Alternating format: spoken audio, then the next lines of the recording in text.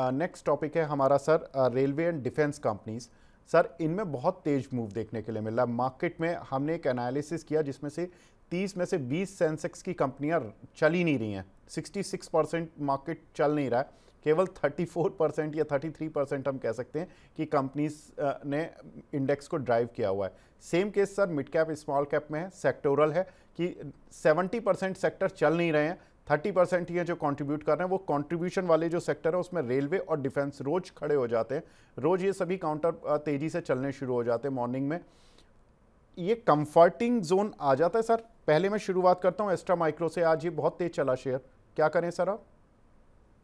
नहीं मैं वही कहूँगा कि जहाँ पे कंपनी की परफॉर्मेंस अच्छी है ऑर्डर बुक अच्छी है एस्ट्रो माइक्रो मुझे लग रहा है कि देखिए काफ़ी चल चुका है और कंपनी की साइज़ ऑफ़ ऑपरेशन भी इतनी बड़ी नहीं है। अगर आप दूसरे बड़े कंपनी जैसे भारत इलेक्ट्रॉनिक्स मासगांव डॉक या गार्डन शिपयार्ड को कंपेयर करें तो मेरे ख्याल से यहाँ पे आप होल्ड करें बट फ्रेश खरीदारी का मौका अभी नहीं है। इस लेवल पे बाइंग डेफिनेटली एडवाइजेबल नहीं बिल्कुल।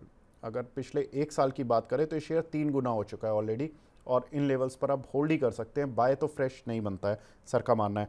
सर जुपिटर वैगन ये इस क्वार्टरली रिजल्ट्स के बाद से चलना शुरू हुआ और अभी तक चलता ही जा रहा है। क्या करें सर? ये देखिए वैगन की कंपनियाँ में दो तीन प्लेयर्स है। एक तो टिटागर वैगन है, उसके बाद टेक्समैको रेल है और उसके बाद ये जुपिटर वैगन है। वैगन्स अनुमान है कि इस बार गवर्नमेंट नए वैगन्स की ऑर्डर देगी। ऑलरेडी जुपिटर वैगन हो या टिटागर वैगन हो, इनके पास कम से कम डेढ़ दो साल की ऑर्डर बुक अभी भी प्रेजेंट है। तो मार्केट को एक अनुमान लग रहा है कि शायद यहाँ से भी एक अच्छी बढ़त आएगी। तो मेरे ख्याल से देखिए वैगन एक ऐसा स्पेस है जो प्लेयर्स लिमिटेड है और डिमांड काफ़ी ज़्यादा है। उस पॉइंट ऑफ़ व्यू से जुपिटर वैगन नंबर्स भी अच्छे हैं। आने वाले समय में hopefully F I twenty five भी काफ़ी अच्छा रहेगा। तो यहाँ पे होल्ड करने की राय रहेगी। अगर मान के चलिए कि 525 530 तक ये स्टॉक आता है तो ही थोड़ा सा खरीदने का मौका आपको मिलेगा। जी बिल्कुल। तो यहाँ पर जब थोड़ा भी निचले स्तरों पर आता है तभी खरीदने का मौका है। वैसे काउंटर का मैं चार्ट देख रहा था हंड्रेड रुपीज़ था ये करीब लास्ट ईयर इसी समय पर और अभी पाँच सौ छियासठ रुपये हो चुका है पा, करीब पाँच गुना बढ़ चुका है। तो एक अच्छा खासा मूव इस काउंटर पे ऑलरेडी आ चुका है। आ, सर पारस डिफेंस इस पर आपका व्यू सर? ये पारस डिफेंस में मुझे लगता है कि देखिए नंबर्स अच्छे आएँगे क्योंकि इनका प्रोडक्ट काफ़ी यूनिक है। और ऑलरेडी साल डेढ़ साल की ऑर्डर बुक की विजिबिलिटी है। आ, मुझे लग रहा है कि होपफुली आने वाले डेढ़ दो साल में ऑर्डर बुक और भी अच्छी तेज़ी से बढ़ेगी। तो यहाँ पे होल्ड करने की राय हालाँकि देखिए स्टॉक दूसरे डिफेंस स्टॉक्स के मुकाबले में ज़्यादा चला नहीं है बट हमारा मानना है कि डेढ़ साल का अगर कोई व्यू रखता है बारह से पंद्रह या अठारह महीने का तो करीबन 1100 1150 का एक लेवल आपको मिल सकता है। जो बहुत ही कंजर्वेटिव है, क्योंकि नंबर्स ट्वेंटी फाइव और ट्वेंटी सिक्स के लिए काफ़ी अच्छे आएँगे। मैनेजमेंट की कमेंट्री भी अच्छी है और ऑर्डर बुक भी काफ़ी स्ट्रॉन्ग जी तो पारस डिफेंस यहाँ पर भी आपको दूर ही रखना है अपने को और यहाँ पर सर ने जो वैल्यूएशन बताई है, जिन लेवल्स पर बताया, वहाँ पर ही आपको एंटर करना है। सर, टीटागढ़ वैगन इस काउंटर पर भी हमने देखा कि मल्टी बैगर रिटर्न मिले हैं और अब इस काउंटर पर निवेश करना में कंफर्ट है या नहीं? देखिए, मुझे लगता है कि अभी जो इन्वेस्टर इस इस कंपनी में इस प्राइस पे निवेश करेगा ना, उसको अल्फ़ा मिलेगा नहीं, वो कंपाउंडर होगा। आप पंद्रह परसेंट का अपसाइड मान के चलिए कि आपको मिल सकता है, क्योंकि इंडस्ट्री टेलमेंट्स काफ़ी पॉजिटिव है ऑर्डर बुक अच्छी है, इनको मेट्रो के ऑर्डर्स मिले हैं रेलवे से वैगन्स के ऑर्डर्स मिले हैं तो कंपनी इंटरनेशनली भी काफ़ी अच्छा काम कर रही है। तो कंपनी ग्रो करेगी, लेकिन इस लेवल से आपको पंद्रह परसेंट का रिटर्न मिलेगा। जो पहले के रिटर्न आपको मिले हैं, जो निवेशकों को मिले, वो शायद आपको नहीं मिलेंगे। तो वो बात ध्यान में रखिए ये ज़्यादा से ज़्यादा एक कंपाउंडर बनेगा, जहाँ पे साल का पंद्रह परसेंट, सोलह परसेंट आपको कंफर्टेबली यहाँ पे मिलेगा। तो वो एक पॉइंट ध्यान में रखें बिल्कुल। तो साल का पंद्रह परसेंट रिटर्न अगर लेना है तो ले सकते हैं। काउंटर पर बने रहें, लेकिन थोड़ा सा, अब जो एक तेज ग्रोथ जो काउंटर में एक्सपेक्टेड थी वो ऑलरेडी काउंटर कर चुका है क्योंकि आ, मैं इस कंपनी का भी चार्ट देख रहा था। ये काउंटर करीब आ, पिछले दो साल में बहुत तेज चला करीब तीन से चार चार चार गुना हो चुके हैं ये शेयर्स सर आईआरएफसी इसकी भी यही हाल है? देखिए आईआरएफसी में सबसे बड़ा जो पॉजिटिव और नेगेटिव दोनों है कि इसका एक ही कस्टमर है और वो है इंडियन रेलवे और करीबन 40 परसेंट जो रेलवे का कैपिटल एक्सपेंडिचर होता है वो आईआरएफसी फंड करता है। तो मेरे ख्याल से देखिए आईआरएफसी एक ऐसी कंपनी है जहाँ पे उनको स्पेशल टैक्स बेनिफिट्स भी मिलते हैं और उनको बिज़नेस एश्योर्ड होता है। पहले तो ये स्टॉक डिविडेंड यील्ड के लिए माना जाता था जब बहुत सस्ता था बट अभी ये डिविडेंड डील का मामला रेलिवेंट नहीं है।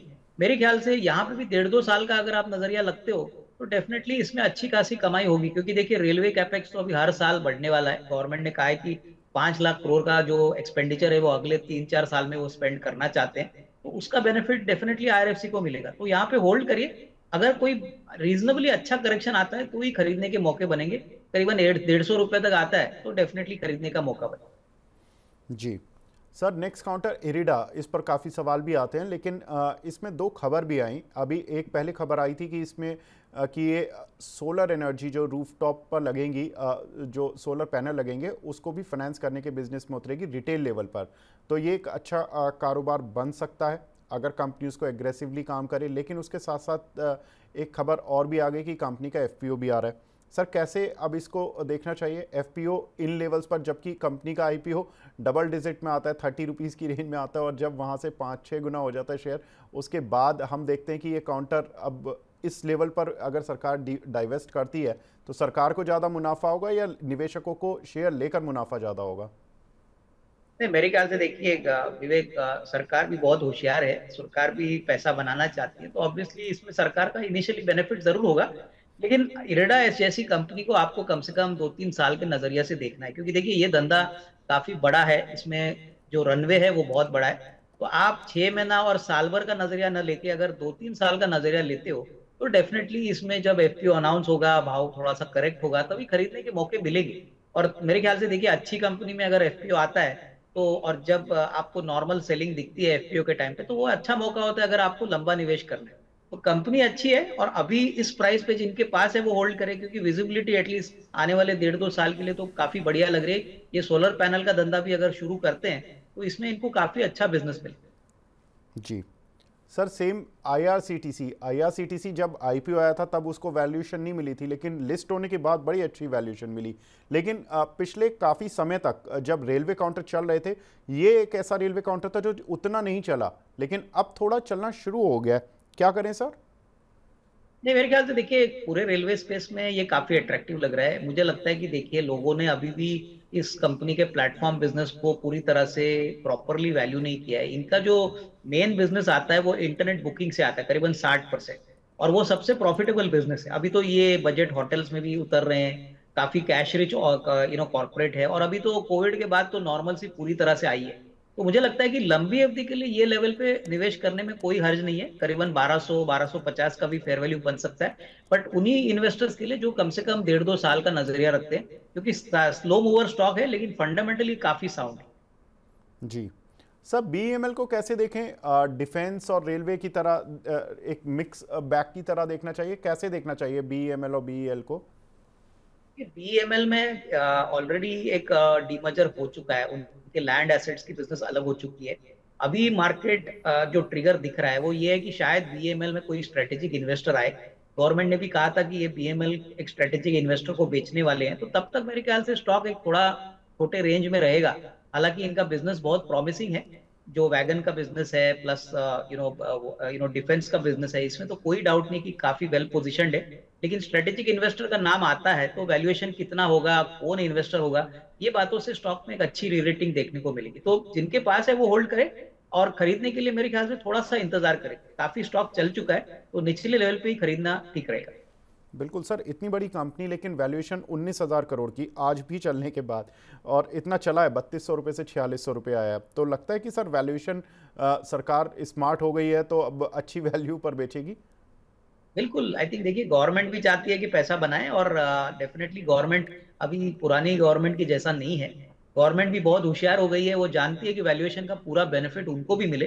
और इसमें कोई हर्ज नहीं है क्योंकि देखिए अल्टीमेटली आप जब प्रीमियम वैल्यूएशन देते हो तो आप बिज़नेस का ग्रोथ को भी देखते हो। तो अगले दो तीन साल का नज़रिया अगर आप देखते हो तो ऐसी कंपनीज़ में मुझे लगता है कि काफ़ी भरपूर ग्रोथ अभी भी आना बाकी बिल्कुल। Next counter sir BEL BEL पर आपका व्यू सर बीएल में मुझे लगता है कि अभी भी काफ़ी अच्छा अट्रैक्टिव लेवल पे है क्योंकि जिस प्रकार के नतीजे कंपनी ने डिक्लेयर किए एफ़ ट्वेंटी फोर के लिए और अभी जो करंट ईयर की ऑर्डर बुक करीबन पचहत्तर हज़ार करोड़ है कंपनी बिल्कुल कर्जा मुक्त है। कंपनी का करीबन साढ़े चार हज़ार करोड़ का उन्होंने ऑपरेटिंग कैश फ्लो जनरेट किया है। सबसे बड़ी बात कंपनी के पास डेढ़ दो साल का आउटलुक के लिए ग्रोथ के लिए ऑर्डर बुक अवेलेबल है और प्लस होपफुली कंपनी ने ये भी कहा है कि एक बार डिफेंस बजट होता है फाइनल जो इस बार के बजट में अनाउंस किया जाएगा तो और इंक्रीमेंटल ऑर्डर्स आने की अपेक्षा रहेगी। इसमें एक ही दिक्कत है कि जो एग्जीक्यूशन होता है इन ऑर्डर्स का, वो थोड़ा लंबा लगता है। तो ये बात निवेशक ध्यान में रखे कि पचहत्तर हज़ार करोड़ एक साल में नहीं बट कम से कम आने वाले दो तीन साल में ये कल्पनेट होगी। तो लॉन्ग टर्म के लिए मुझे लगता है कि अभी भी इसमें निवेश करने का मौका है। लॉन्ग टर्म के लिए निवेश करने का मौका है और चार हज़ार करोड़ के करीब का कंपनी प्रॉफिट अर्न करती है एक साल में। तो ये बहुत इंपॉर्टेंट है। और काफ़ी अच्छा रेवेन्यू करीब बीस हज़ार करोड़ से ज़्यादा का रेवेन्यू है बहुत अच्छे फाइनेंशियल हैं कंपनी के। आ, सर इस कैटेगरी का लास्ट काउंटर एच इस काउंटर ने भी लिस्टिंग के बाद से सर धूम मचा रखी है और निवेशक इसको छोड़ना नहीं चाहते। क्या ये लेवल है छोड़ने वाले या अभी भी पकड़े रहना चाहिए इस काउंटर को?